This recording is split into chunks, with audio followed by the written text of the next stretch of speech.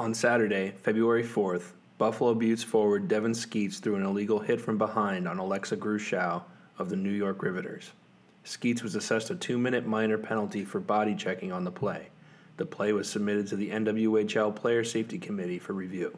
Skeats' disciplinary history this season is as follows. On October 9th, Skeats hooked a Connecticut defender to the ice in a dangerous slew footing play, which resulted in an injury. Skeats was assessed a minor penalty for hooking on the play.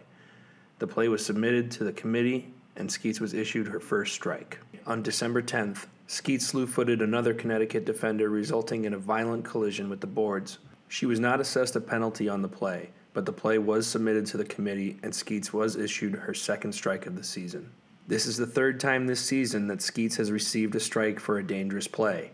In all three instances, Skeats initiates contact with unsuspecting and vulnerable opponents from behind. The first two plays are what are referred to as a slew foot, where the offender leverages the upper body back while kicking the skates out from under the opponent.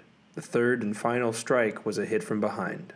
All three plays are illegal and dangerous. The NWHL Players Safety Committee has decided to suspend Devin Skeats for one game.